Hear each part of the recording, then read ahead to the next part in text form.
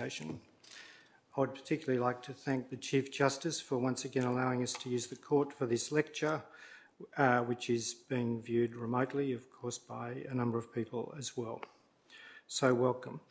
Uh, Sir Maurice Byers, as you know, was a um, considerable legal figure in our uh, in our world. He was a Solicitor General, and he also, very, at the very end of his career, practiced at the private bar and brought some of his most important thoughts to the world of constitutional and public law in that um, latter part of his career.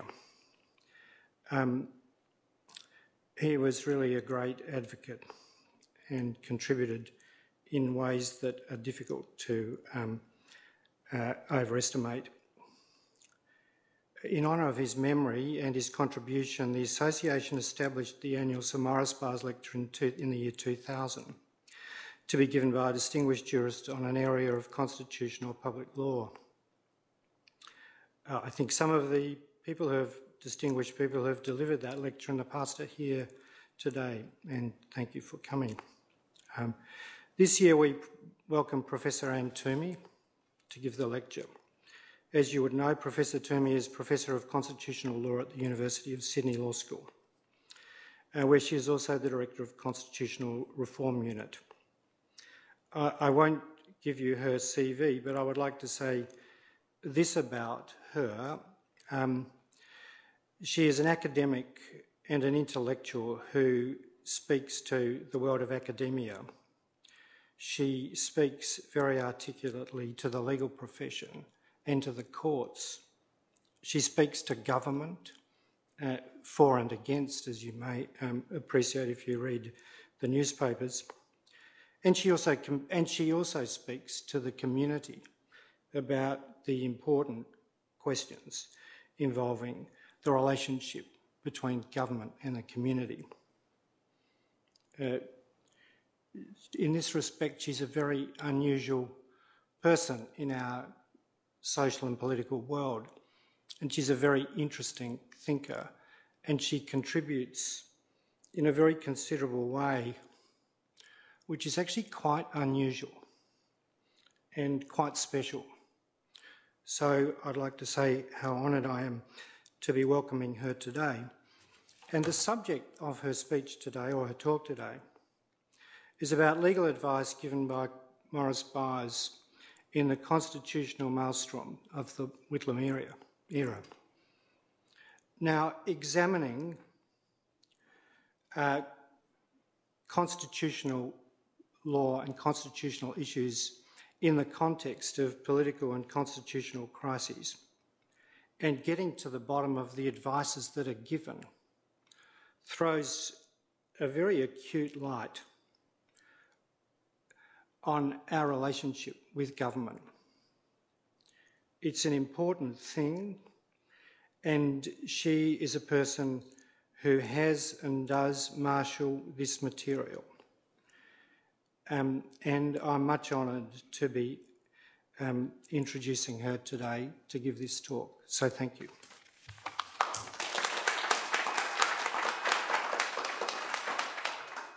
Thank you very much, Tim. And it is a great honour to be here today to give this lecture uh, in honour of Maurice Byers.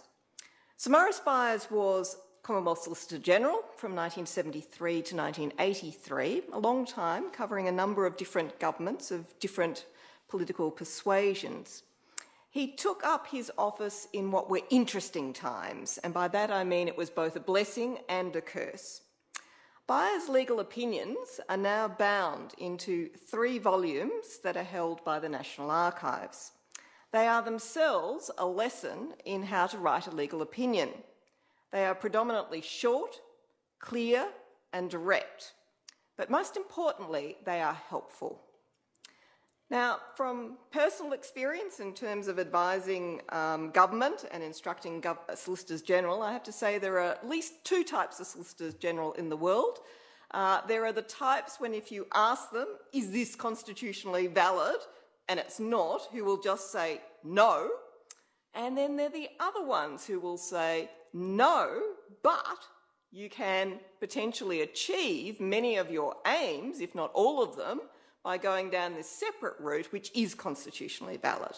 Now, Sir Maurice Byers was of the second kind, the helpful kind. He was the kind that could find another way of achieving what government wanted to do, but in a constitutionally valid way. Uh, this was particularly notable in Sir Maurice's later opinions um, as Solicitor General. He contributed significantly to policy development by steering governments away from unconstitutional courses of action and towards valid means of achieving the underlying aim. Sometimes his opinions in reviewing laws or proposed laws also suggested a better or more elegant way of achieving a desired outcome, or even pointed out other problems that he wasn't asked about but he noticed in the course of reviewing bills. These types of positive contributions occurred when written advice was sought behind closed doors on a proposal that had not yet been made public. Byers was ordinarily unafraid of giving an unpopular answer.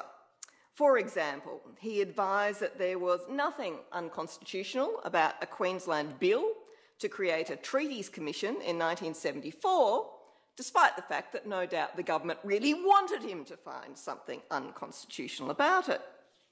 He also advised, more controversially, that certain key clauses of the Racial Discrimination Bill were constitutionally invalid because they were neither supported by the race power in section 5126 or the external affairs power in 5129. In this case, however, the government ignored his advice and went ahead with the bill in its existing form. Now, greater difficulty arose where there was a public crisis and the government was in a fix. This puts the Solicitor General in a very difficult position. On the one hand, the Solicitor General is serving the government of the day. On the other hand, he or she has an obligation to advise the government as to the correct legal position rather than simply rubber stamp the outcome that the government wants. Its aspirational view of the law, and the Whitlam government was very aspirational in aspects of the law. Now, managing this potential conflict can be difficult. In litigation, for example, it's accepted that the Solicitor General acts as counsel upon the government's instructions. Even if the Solicitor General personally disagrees with the correctness of a position, he or she will argue the case as instructed as long as it's not legally unarguable. Byers, for example, successfully defended the validity of the provisions of the Racial Discrimination Act in the Koowarta case, despite having previously advised that at least one of them was constitutionally invalid. Interestingly, Lionel Murphy, who was the Attorney General who had ignored Byers' opinion about the unconstitutionality of one of these provisions, was one of the judges on the Koowarta case, and indeed, he was the fourth judgment that caused a majority in favour of the validity of the relevant provision. Interesting times. Uh, when it comes to providing legal opinions to government, the position can be more fraught especially in dealing with a crisis that's already in the public realm. There can be great pressure to produce an opinion that justifies government's conduct that has already occurred or is proposed to occur.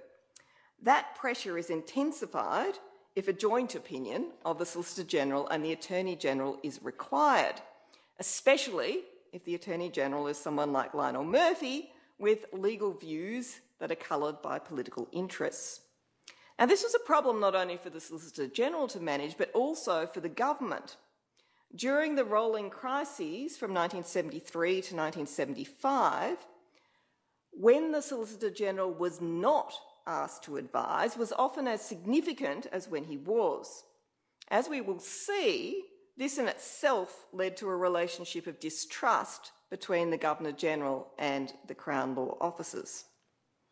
Now, the first volume of Byers' opinions, covering the period 1973 to 1976, was open for public access in 2011. Now, after being asked to give this lecture, I applied for access to the two other volumes covering the rest of Byers' period as Solicitor General. And I was pleasantly surprised uh, when they were actually given to me in a timely manner without redaction. I thought to myself, goodness, the Hocking litigation has actually done something good and caused the National Archives to change its general approach, which is one of maintaining confidentiality over anything that might have a smidgen of controversy in relation to it. I immediately arranged for someone to race off to the archives and copy and photograph the relevant um, opinions for me. Two weeks later, I was informed by the archives that someone had pushed the wrong button. Apparently, the files all remain secret. According to the archives, it is contrary to the public interest to release them because of, quote, ongoing sensitivities. Now, I have to say, having actually read all the opinions that are now the subject of this level of secrecy, can't really see how this argument about ongoing sensitivities would satisfy this um, public interest test. Uh, the irony in this all is, is, that the ongoing sensitivities are actually in volume one, the volume that has already been released, and indeed was released at a time before the archives became paralysed by the pull of secrecy. Seems, however, to me on reading it, that the reason governments don't want people to see these opinions is not what is normally claimed, and that is that somehow it will bind the government in litigation, but rather that it will reveal that the government sometimes is told that its actions are unconstitutional and then goes ahead and does it anyway. Seems to me that it's actually the embarrassment of behaving in a deceptive manner which is the real reason for retaining the secrecy of these volumes. But in any case, I propose today to talk about Volume 1 because it does contain the more sensitive and interesting opinions. Now, this brings me to Sir Maurice's very first opinion as Solicitor General. It concerned the referendum bill on simultaneous elections. Now, the bill had passed by an absolute majority of the House of Representatives, but was then, on the 4th of December 1973, referred by the Senate to a Senate committee. The government wanted to interpret that as failure to pass for the purposes of going through the process in section 128 of the Constitution that would allow the House of Representatives to get a referendum to the people without the approval of the Senate. So the government sought Byers' opinion. Byers, quite inconveniently, advised on the 13th of December 1973 that the bill had not failed to pass. Taking into account its complexity, its effect, and its importance, he did not consider that the period for scrutiny by the Senate committee was unreasonably long. In his view, as it had not yet failed to pass, the procedure for putting it to a referendum against the Senate's wishes had not yet been triggered. The government rejected his advice. And remember, this is his very first advice as Solicitor General, and it was ignored. Gough Whitlam, the Prime Minister, and the Attorney General, Lionel Murphy, then went to see the Governor General, Sir Paul Hasluck, on the 21st of March 1974 and advised him that all the referendum bills met the requirements of Section 128 of the Constitution. No mention was made of the fact that there was controversy about whether one of the bills actually did satisfy the Constitution, or that the Solicitor General, upon reasonable grounds, thought that it did not. Hasluck was also provided with a written opinion. Unsurprisingly, it wasn't from Byers, it was a written opinion from Lionel Murphy that all four bills met the constitutional requirements. The referendums, as we know, failed, but if they had passed, there would have then been a real question about whether a constitutional referendum, which had been approved by the people, was actually valid. Now, we know um, that there are real issues about its validity because at the very same time that those referendums were put to the people in 1974, there was also a double dissolution election. The concept of failure to pass applies in both Section 128 in relation to referendums and also in Section 57 in relation to double dissolutions. One of the double dissolutions bills, the Petroleum and Minerals Authority Bill, known as the PMA Bill, gave rise to exactly the same issue about whether or not it had failed to pass. But when the Governor General, Sir Paul Hasluck, was advised on the 10th of April 1974 to grant the double dissolution, attached were two separate legal opinions. One was a joint opinion by Byers and Murphy that a double dissolution could be granted with respect to more than one bill. That's a proposition with which the High Court later agreed, and there's nothing controversial about it. The other opinion, however, was from Murphy alone that each of the bills, including the PMA bill, satisfied the requirements of Section 57. Presumably, either Byers refused to give such an opinion or was not asked because of his first opinion as Solicitor General, which showed that he would most likely not agree. Now, Hasluck, as Governor General, in granting the double dissolution, wrote uh, that he accepted the learned opinion of the Attorney General while not knowing that the learned Solicitor General took a different view. Hasluck also recorded that Whitlam personally went through each bill with him and stated that the record was clear that they would satisfy the terms of Section 57. Hasluck stated that he was primarily interested in the issue of failure to pass. So Hasluck personally flagged this with um, Whitlam, uh, and he said that he wanted to ensure that the record would be such as, quote, to do us credit in the eyes of the constitutional critic and the historian. Well, it did not. So, what's the relevance of all of this? Well, it takes us to Sir John Kerr's dissatisfaction with the legal advice that he received from the Crown law officers. After Kerr became Governor General, one of the first legal um, issues that he faced was issuing the proclamation for the joint sitting of Parliament after that double dissolution election, at which he was advised to list the bills that were to be discussed by the joint sitting. Now, when Kerr, former Chief Justice of this court, looked at the details of the bills, he realised immediately that it was, quote, extremely doubtful indeed, unquote, that the PMA bill satisfied the conditions of Section 57. So he raised this question and he sought advice. Uh, he asked whether or not he could include this bill in the proclamation, given that it seemed unlikely that it satisfied Section 57. Kerr was then given a joint opinion from Murphy and Byers that he was bound by Sir Paul Hasluck's decision to list them as double dissolution bills and could not act contrary to that in issuing the proclamation. The opinion asserted that the Constitution does not permit the Governor General, by one act of state, to contradict or examine the validity of another.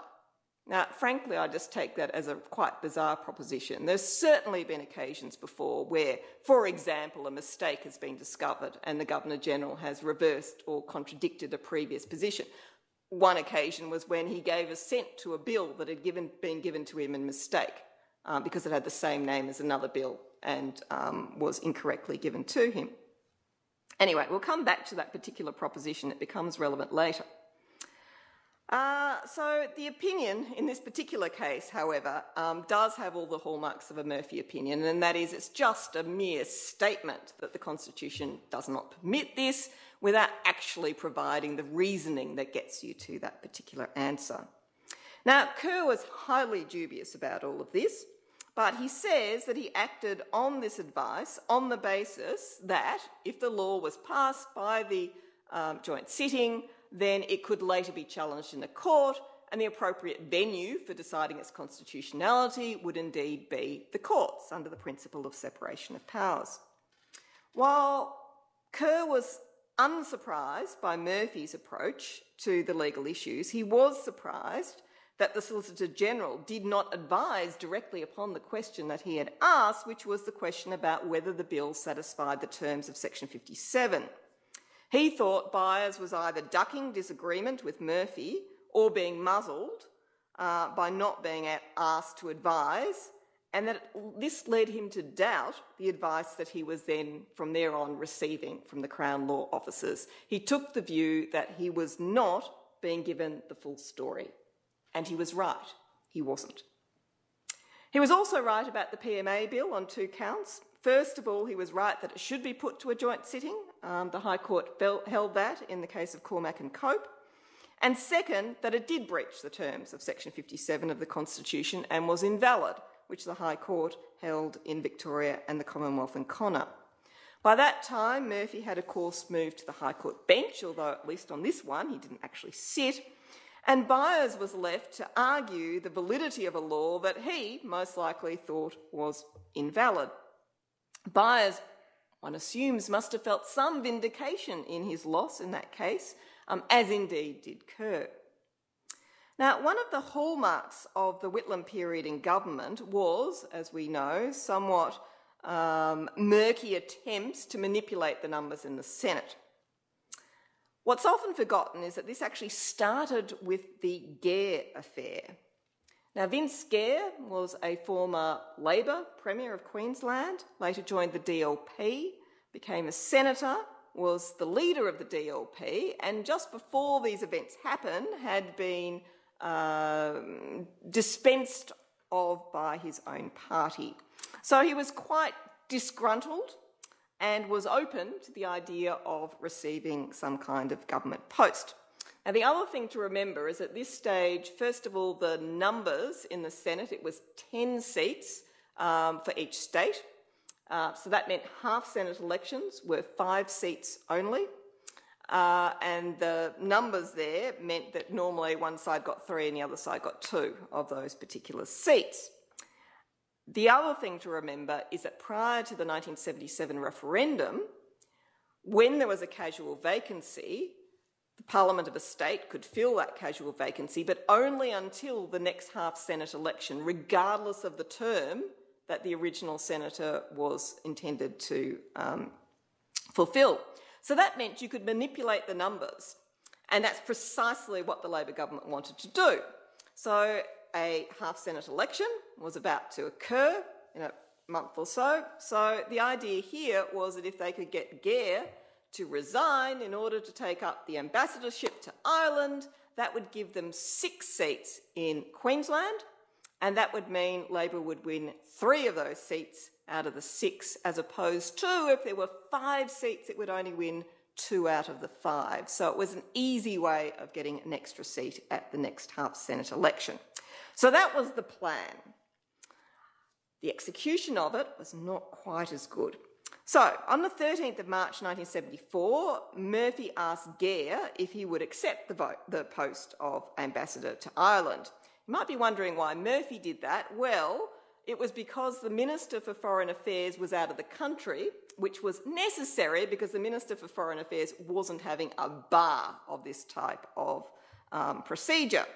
So, in the absence of the Minister for Foreign Affairs, Gough Whitlam was the acting Minister of Foreign Affairs. So, after Murphy um, raised this with Gair and Gair was um, accepted, Whitlam and Murphy then went off to see Hasluck, the Governor General. Um, it was the meeting, indeed, at which they had convinced the Governor General to approve of the uh, referendum bills. Now, Hasluck, fortunately, left written records of what happened in these meetings, which are in the archives, so we know.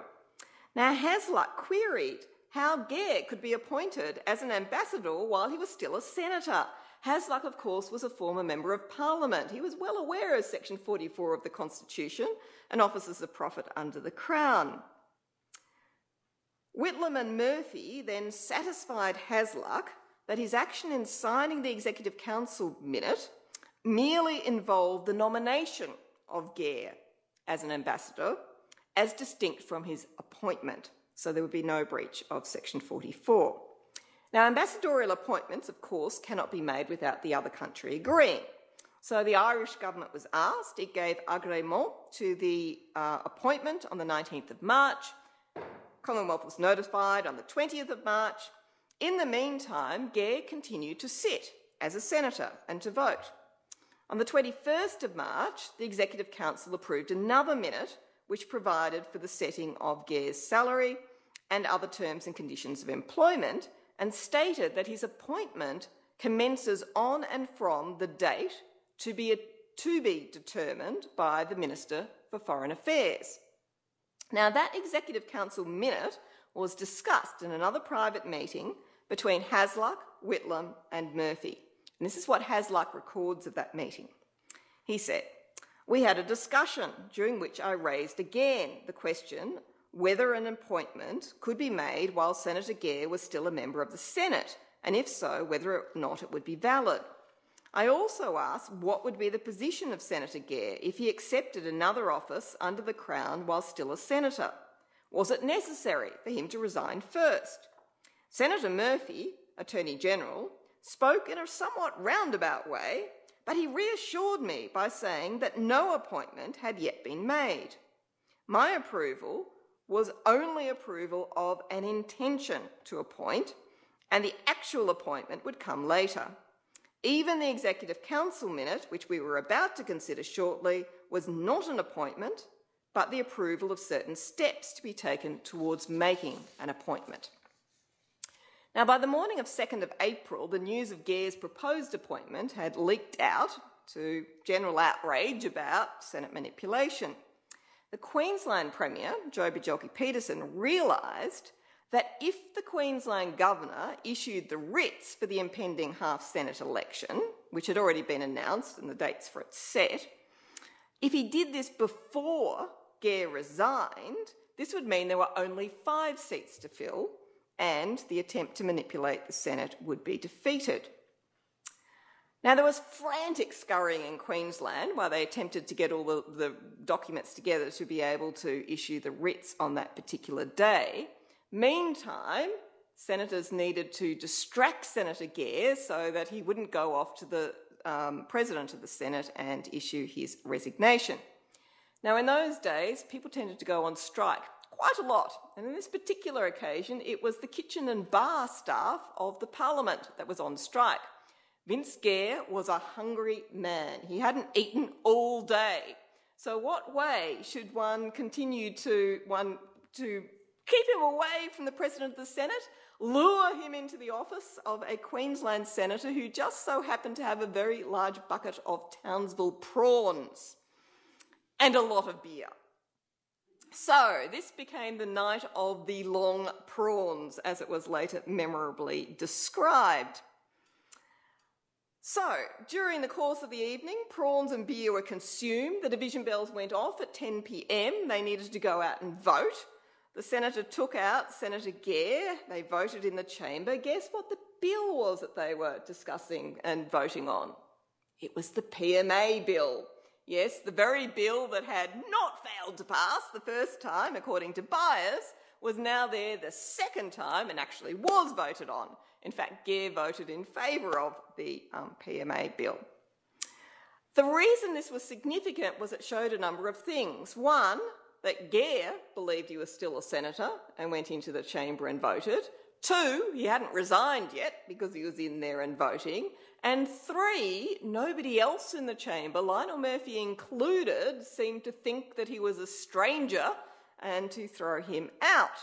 So everybody seemed to think at that stage that Senator Gair was still a senator. Meanwhile, back in Queensland, where they were frantically trying to get together the um, election writs, they finally got them signed by the governor. They wanted it all sealed and done, and they discovered that the state seal was locked in a safe, that the key to the safe was held by a public servant who had gone home and gone to bed.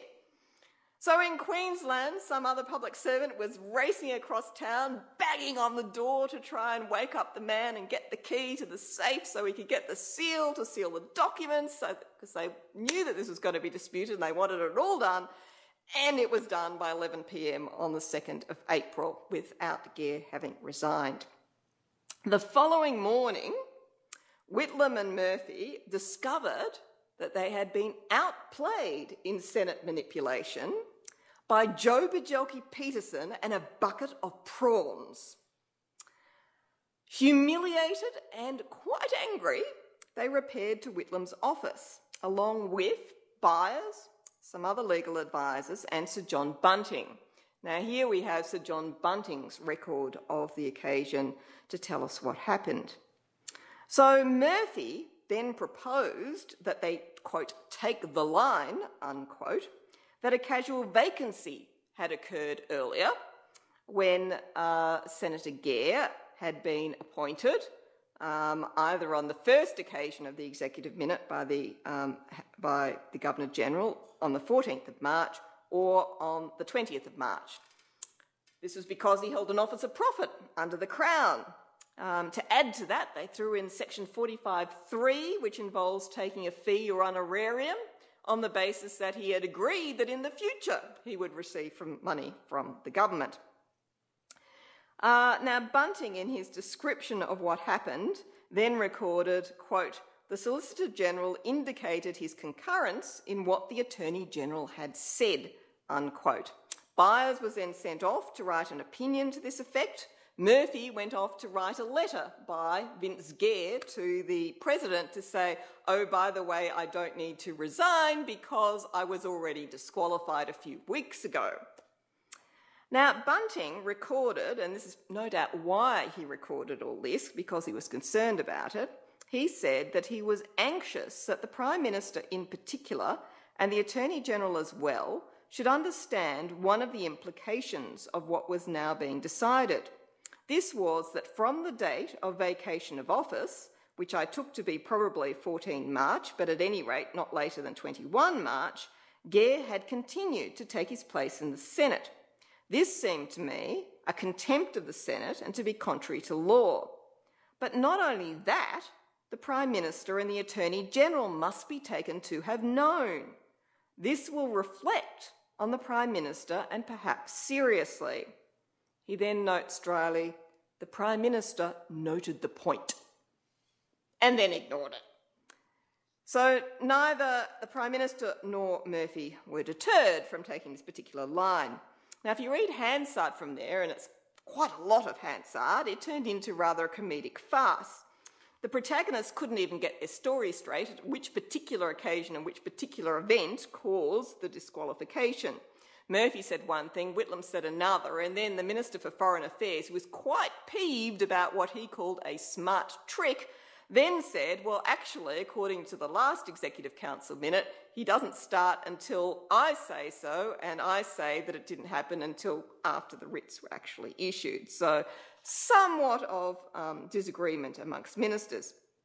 Now, um, Byers' opinion was duly tabled in the Senate. When Murphy was asked why he did not object to Gair voting um, if he knew that Gair was disqualified, Murphy quite bizarrely said that it didn't matter and wouldn't have mattered except for the fact of the Queensland government issuing the writs. Apparently, it was all Queensland fault um, that um, Gair was voting when disqualified. Murphy, when criticised, just pointed to Byers' opinion and said, well, he says um, that Gair was disqualified, nothing to see here. He then moved a motion to have the matter referred to the Court of Disputed Returns, but the Senate then amended that motion to declare, under Section 47 of the Constitution, that Gair was still a senator as at 3 April. It then censured the government and called for its resignation. Byers then advised that there was a powerful argument that the House no longer held the power to decide under Section 47 of the Constitution about the qualification or disqualification of a Member of Parliament. And the argument here is Section 47 is one of those provisions that's predicated with until the Parliament otherwise provides. Byers said, well, the Parliament has otherwise provided by creating the Court of Disputed Returns, and as a consequence, no longer held the power to determine these things itself. Uh, he also um, advised that the Queensland writ was unenforceable, while a question as to whether or not a place has become vacant in the Senate is unresolved. You can imagine if that proposition was so, how things might have played out some time ago when there were dozens of circumstances in which writs, um, in which the disqualification of members of parliament was not resolved. Anyway, uh, he advised that um, proceedings could be taken in the High Court seeking a declaration that the writ was invalid. The Commonwealth then commenced such proceedings. The Senate used the Gair affair to justify blocking supply, and then a double dissolution was called, um, incorporating the PMA bill. Now, as for Byers' opinion on the disqualification of Gair, does it stack up? Byers argued that Gair held an office of profit under the Crown and was therefore disqualified from Parliament from the time of the first Executive Council minute on the 14th of March. Byers concluded, I think that the better view is that a person holds an office of profit notwithstanding that he has not either commenced his duties or received his salary or that the appointment is expressed to be operative from a future date.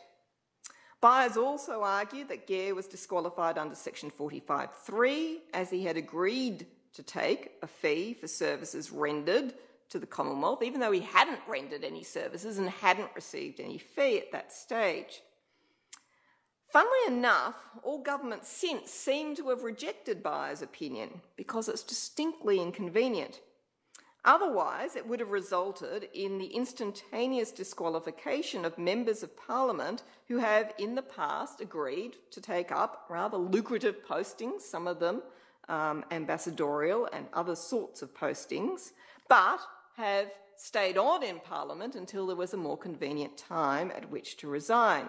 So, just to give one example, uh, the former Attorney General, Senator Brandis, um, after months of speculation, confirmed that he was going to be the UK High Commissioner on the 20th of December 2017, but did not resign from the Senate until 7th of February 2018, the following year, and continued to vote on bills in the meantime. Now, he clearly didn't adopt Byers' view. No doubt he would have argued, and it is a reasonable argument, that there is a difference between agreeing to take up an office in the future and actually holding the office for the purposes of Section 44. On the other hand, one could say that there are actually good policy grounds um, for taking Byers' wider approach, as one of the reasons behind the provision about office of profit under the Crown is actually to prevent these officers being hung in front of the noses of MPs, particularly independents, in order to influence their votes in Parliament. Now, another controversial issue that arose in Byers' time was the dismissal of ministers. And this played out in two stages. First, there was the dismissal of individual ministers, being Clyde Cameron and Jim Cairns, and later, the dismissal of Whitlam himself, which automatically entailed the dismissal of all his ministers. And the two are quite interestingly related. In May 1975, Whitlam decided to demote Clyde Cameron, who was Minister for Labor and Immigration. Cameron's policies had resulted in increased wage claims, which had fueled inflation, leading to economic problems. Now, Whitlam asked for Cameron's resignation with a view to appointing him to a less senior ministerial position, but Cameron refused. Cameron, in a letter to Whitlam, which was conveyed to Kerr at the swearing in ceremony, insisted that the Governor General's power to dismiss ministers was a prerogative power that could only be exercised for good cause. He claimed that he was entitled to be heard by the Governor General and that the rules of natural justice applied. He regarded the issue as justiciable and said that the High Court would overturn any action that Kerr took if he did not give Cameron natural justice. Now, Whitlam then advised the Governor General to dismiss Cameron without giving him the opportunity to be heard and said that such action was non justiciable. Kerr later told Sir Martin Charteris, and we've seen this recently in the Palace letters, that Whitlam's advice was, quote, supported by appropriate legal and constitutional opinion. But whose opinion? In the handwritten notes, and I have to say Kerr's handwriting is so dreadful, they're very, very hard to read, but in the archives, in Kerr's handwritten notes, it appears that the advice actually came from Clarrie Harders, who was the Secretary of the Attorney General's Department, and that he, that's Kerr, then rang the Attorney General, who by that stage was Kep Enderby, who gave the same advice. Now, while it wasn't clear whether anyone had actually researched the precedents, and it seems not because Kerr was actually told this was the first time this had ever happened, in fact, it wasn't the first time it had happened. Ministers had been dismissed before. One interesting precedent occurred in 1918. On that occasion, again, the minister says, You cannot sack me unless you give me an opportunity to put my case.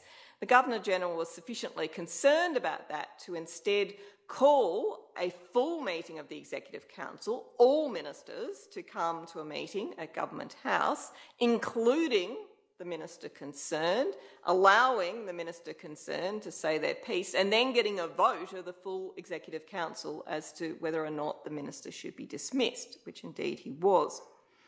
Uh, the other example occurred in 1931 when the issue um, arose, and in this case, the Attorney General advised and said, well, actually, this is not a matter for the Executive Council. This is a prerogative that belongs to the Governor General alone, and the Governor General should um, exercise it. Uh, he advised that such decisions were non justiciable and that um, no um, procedural justice was required.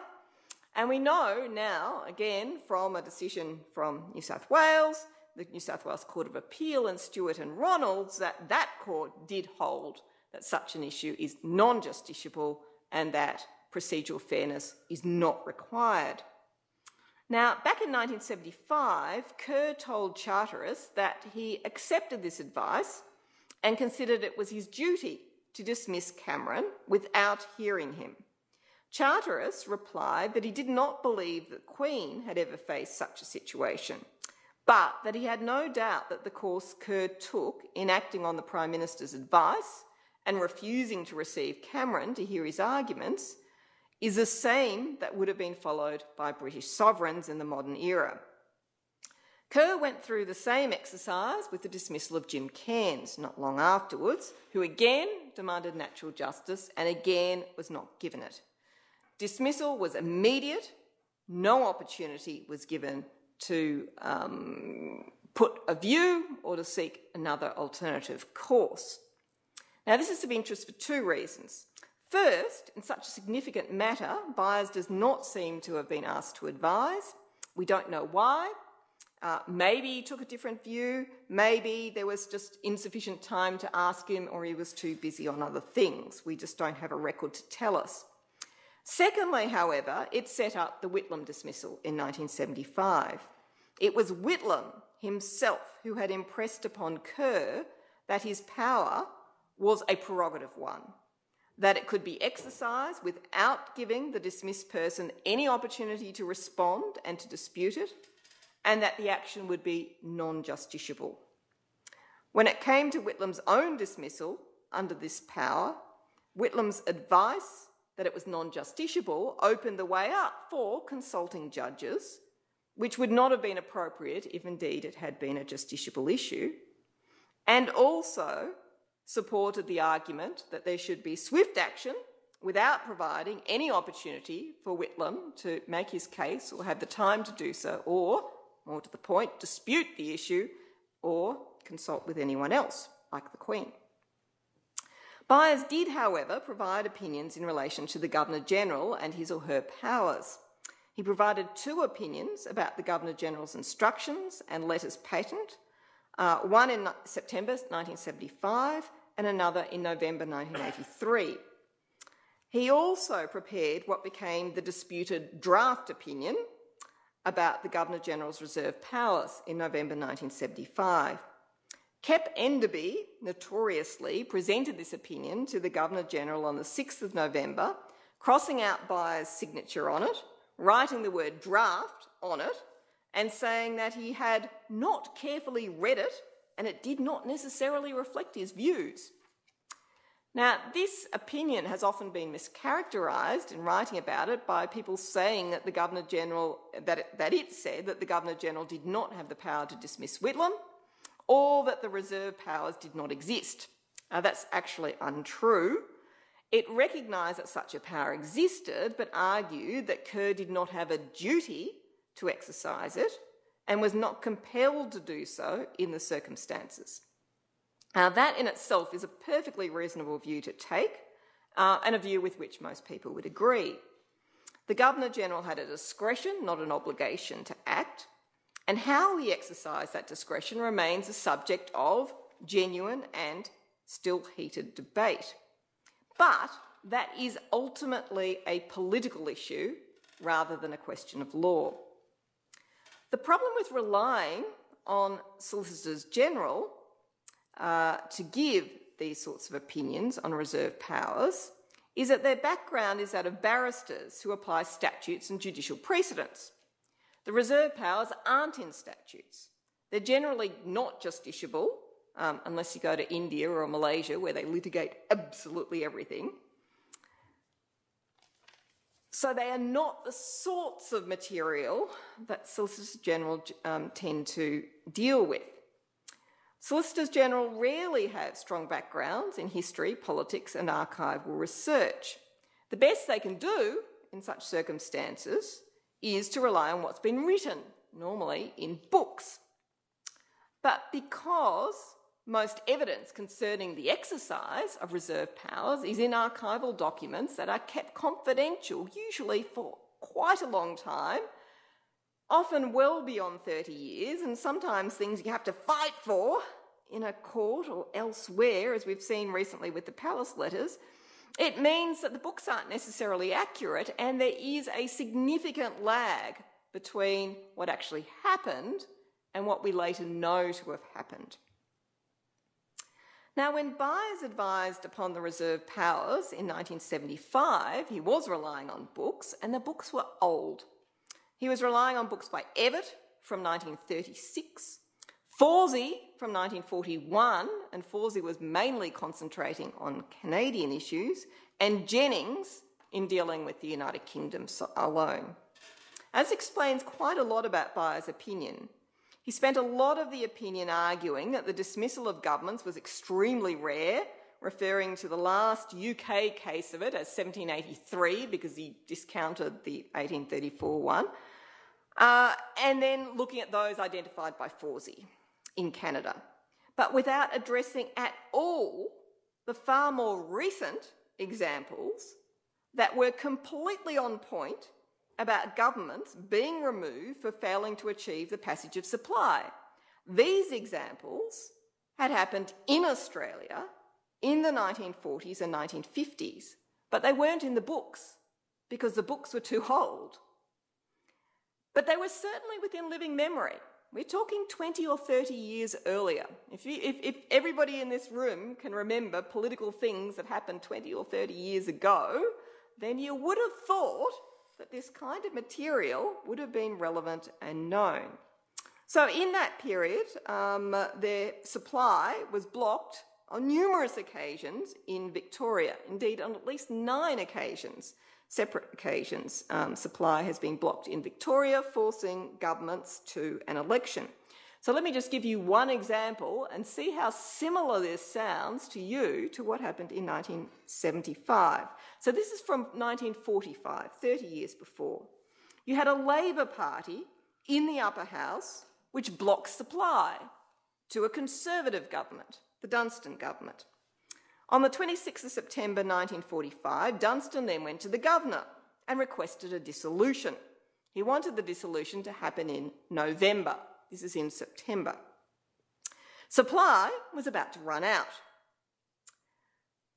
The governor uh, was not happy with the notion of supply running out and either having to authorise illegal spending or to have public servants not being paid during that period. So the governor said he would grant a dissolution on the condition A, that it was much earlier, on the 3rd of October, and B, only if Dunstan first obtained a, a vote of supply to cover the period.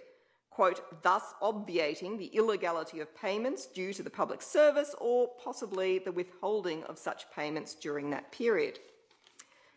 So Dunstan went back to the House, and the House again voted to refuse supply to the Dunstan government. It also resolved that it would only grant supply to another government if Dunstan resigned. Dunstan went back to the governor. He insisted upon a dissolution. The governor said he would not be a party to the illegal application of public monies and that he required Dunstan's resignation. Dunstan was effectively dismissed. He had absolutely no choice about it. He was told he was going, and that was the end of it. But it was described in the press as resignation, which is why nobody remembers that it happened. The governor then commissioned a caretaker government, which did not have majority support in the lower house, to pass supply in the upper house and then advise an election, which occurred. The circumstances there are so close to 1975, it is astonishing that such matters were not raised um, before the Governor General at the time. And there were numerous other precedents to call upon, where it was Labor blocking supply, where it was forcing a lower house to an election, where the Chief Justice was consulted, as was ordinary practice in those days, where the Governor refused to allow government to continue without supply, where there was a forced resignation slash dismissal, and where there was a caretaker government which did not hold a majority in the lower house but advised an election. None of what happened in 1975 was actually new. But none of this was mentioned in Byers' draft opinion to Kerr. Instead, the impression was given that such happenings were virtually unimaginable. Now, perhaps Byers was just completely unaware of them. He was, after all, a New South Wales barrister. He may have had no memory of what had happened in Victoria. Alternatively, perhaps he just wasn't allowed to put it in the opinion because it was going to be a joint opinion with the Commonwealth Attorney General. Whatever the circumstances, it does seriously undermine the standing of the opinion. Kerr's concern that he wasn't being properly advised was a legitimate one. Moreover, Byers in the opinion stressed throughout that the Crown, in granting a dissolution, acts upon the advice of ministers from the party with a majority in the House of Representatives, and that the only exception was this doubtful case of forced, forced dissolution. But that's clearly not true. Minority governments, of course, can advise a dissolution. So can a government that's been defeated on a vote of no confidence, having lost its majority. So too can a caretaker government advise a dissolution. The only difference is that the Governor General in those circumstances is not obliged to accept that kind of advice because it's coming from ministers who aren't responsible. Now, even the use of precedents that um, Byers did include in the opinion was, shall we say, selective. He quoted from the Victorian Governor, George Bowen, in 1877 about how a governor should not intervene in a dispute between the houses.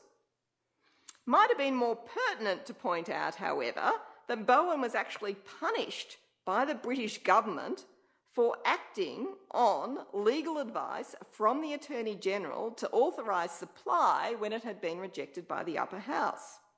It was Bowen's failure to intervene that was criticised by the British government. Bowen was demoted and sent to Mauritius for his sins.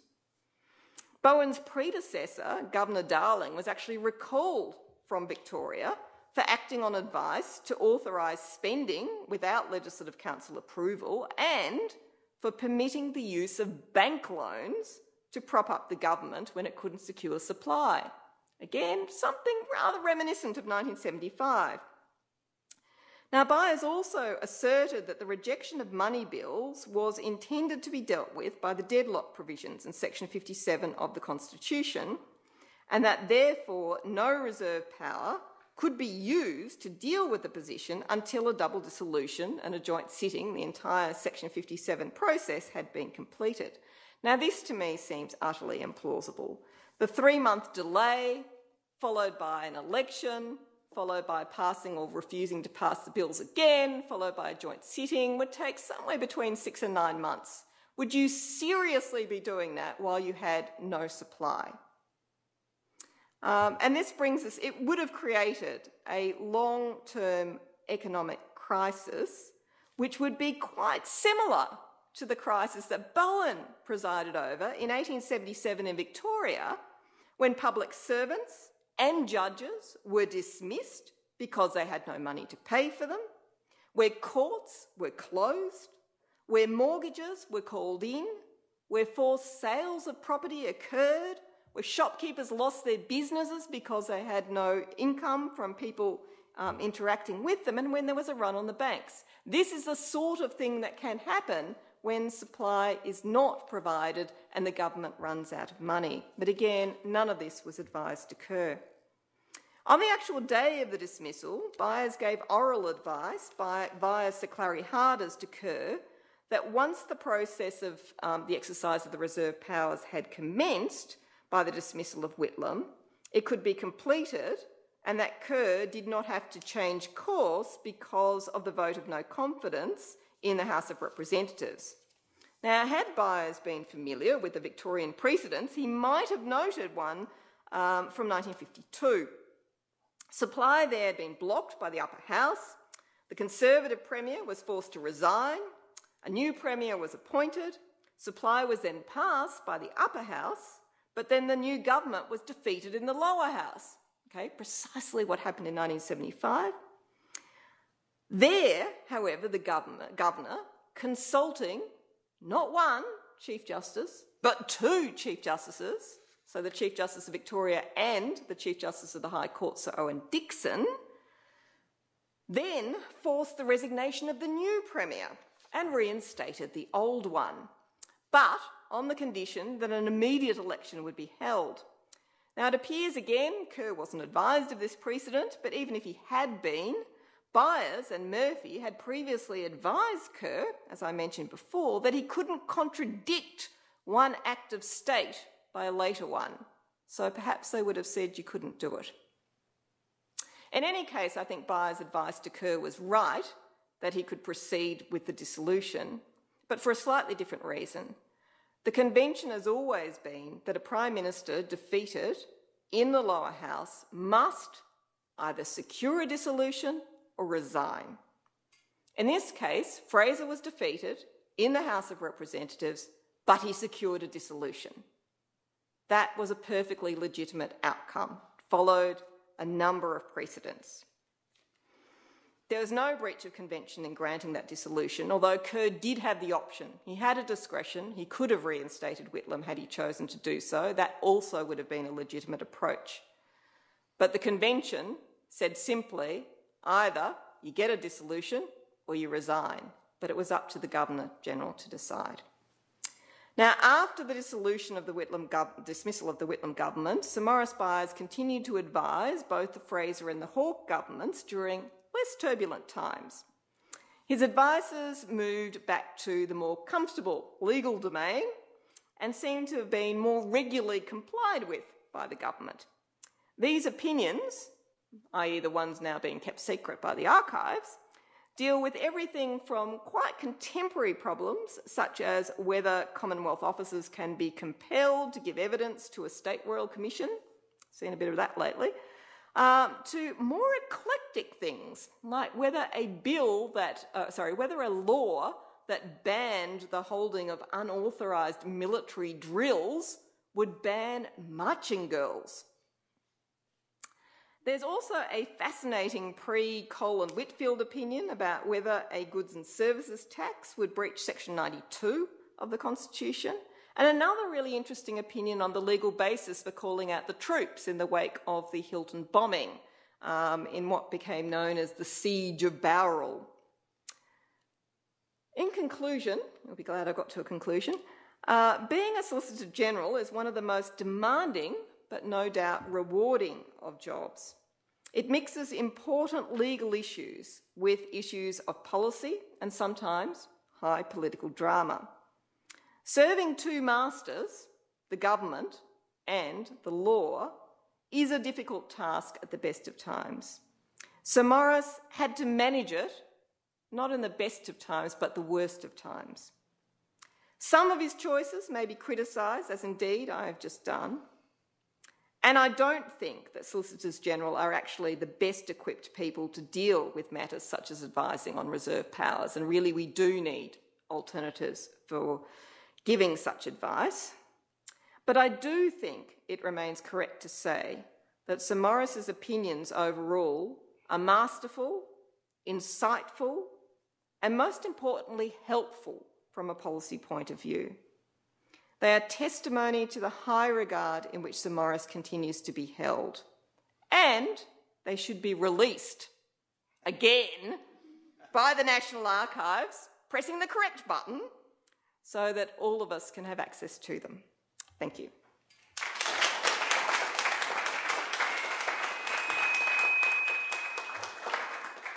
Well, thank you uh, very much kindly, Professor Twomey. I myself have heard a great deal today that I've not heard in the past, even though I can see from those present that we have in our numbers a number of people who were um, alive and very much present at, at the time of this uh, crisis.